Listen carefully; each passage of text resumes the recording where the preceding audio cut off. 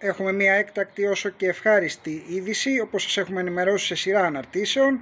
Βρίσκονται στη Γαλλία τόσο πιλότοι μας, όσο και άλλοι ειδικοί για την υποστήριξη των αεροσκαφών για εκπαίδευση στα υπερσύγχρονα γαλλικά μαχητικά τέταρτης πλάς γενιάς Ραφάλ, σύμφωνα με πληροφορίες από ένα σημαντικό προφίλ στα μέσα κοινωνικής δικτύωσης φαίνεται ότι το πρώτο Ραφάλ με αριθμό 401, το δεύτερο Ραφάλ ε, καθώς και το τρίτο βρίσκονται τώρα κάτω από διαδικασίες προετοιμασίας από την Τασό για να παραδοθούν στην ελληνική πολεμική αεροπορία τον Ιούλιο και τον Σεπτέμβριο του 2021 εντυπωσιακές φωτογραφίες από τον Μπαμπάκ Τακβάε.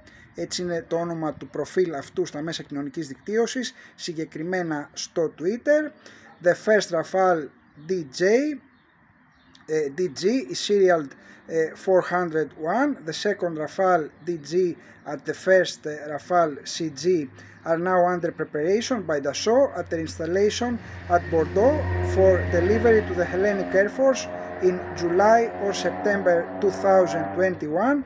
Πολύ σημαντική εξέλιξη. Σε κάθε περίπτωση περιμένουμε με αγωνία εδώ τα πρώτα πανίσχυρα Ραφάλ που θα διασφαλίσουν την ε, αεροπορική υπεροχή της Ελλάδος, τη συνέχιση της αεροπορικής υπεροχής της Ελλάδος στο Αιγαίο και την Ανατολική Μεσόγειο και τις επόμενες δεκαετίες με ακόμα πιο σημαντική βοήθεια και μεγαλύτερη ασπίδα και προς το έτερο ελληνικό κράτος, τη Μεγαλόνισο Κύπρο. Τα παρακολουθούμε και σας ενημερώνουμε.